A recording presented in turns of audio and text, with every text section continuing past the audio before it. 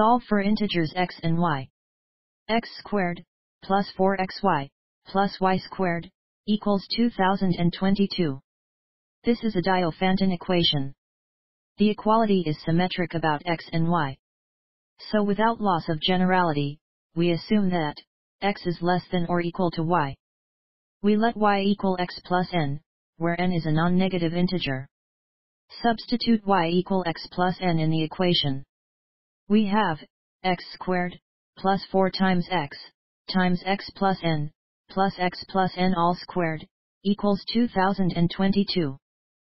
Simplify the left side of the equation, we have 6x squared plus 6xn plus n squared equals 2022.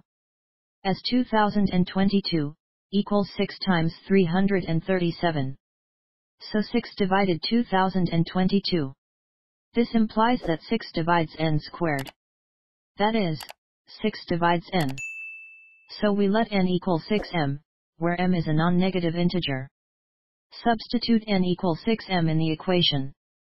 We have 6x squared plus 36xm plus 36m squared equals 6 times 337. Divide the equation by 6.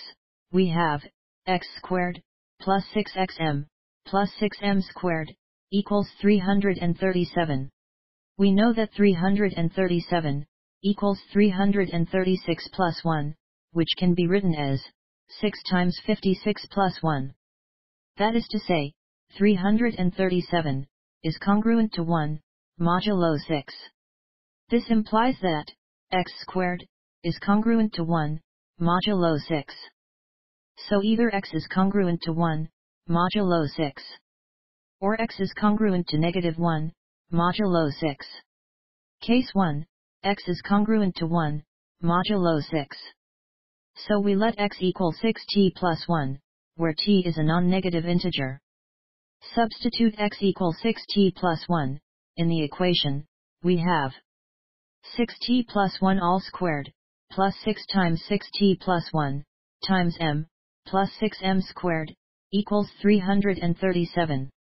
Expand 6t plus 1 all squared, which is equal to 36t squared, plus 12t, plus 1. Move 1 on the left side of the equation to the right side of the equation. 337, minus 1, equals 336. Divide the equation by 6, we have, 6t squared, plus 2t, plus 6t plus 1, times m, plus m squared, equals 56. Now we view the equation as a quadratic equation in t. So we write, 6t squared, plus 6m plus 2 times t, plus m squared, plus m, minus 56, equals 0. Use the quadratic formula, we can find t, which is equal to, negative b, plus or minus, root of, b squared minus 4ac, over 2a. Where a equals 6, b equals 6m plus 2, and c equals m squared, plus m, minus 56. So we can now write, equals negative 6m, minus 2, plus or minus, root of, 6m plus 2 all squared, minus 4 times 6, times m squared, plus m, minus 56, over 12. Which is equal to 1 over 6, times negative 3m, minus 1, plus or minus, root of, 3m squared, plus 337. As t is a non-negative integer, so the negative root is discarded. So t equals 1 over 6 times negative 3m minus 1 plus root of 3m squared plus 337. Clearly, for sufficiently large m, root of 3m squared plus 337 is approximately equal to root 3m. So negative 3m minus 1 plus root of 3m squared plus 337 is less than 0 for sufficiently large m. Now we want to find m, such that negative 3m minus 1, plus root of, 3m squared, plus 337, equals 0. Negative 3m minus 1, plus root of, 3m squared, plus 337, equals 0. If and only if, 3m plus 1 all squared, equals 3m squared, plus 337. If and only if, 6m squared, plus 6m, minus 336, equals 0. If and only if, m squared, plus m, minus 56, equals 0. If and only if, m minus 7, times m plus 8, equals 0. If and only if, m equals 7.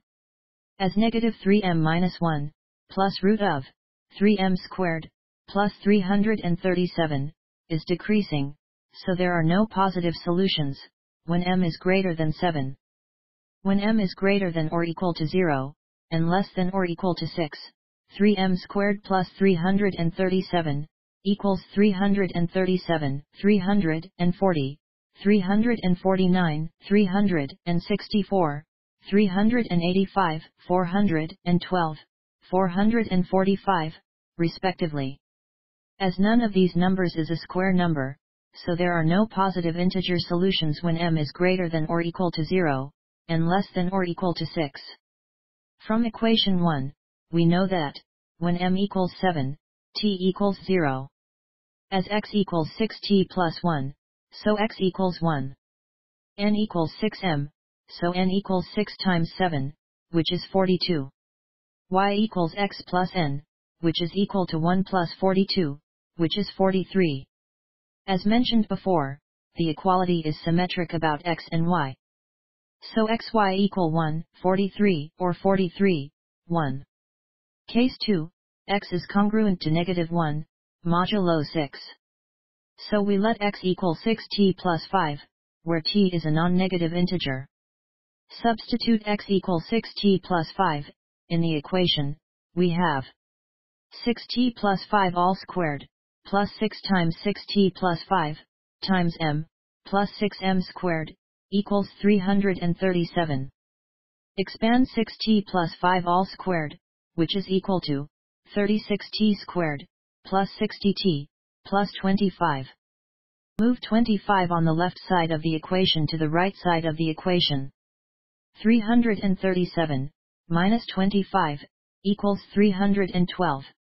Divide the equation by 6, we have, 6t squared, plus 10t, plus 6t plus 5, times m, plus m squared, equals 52.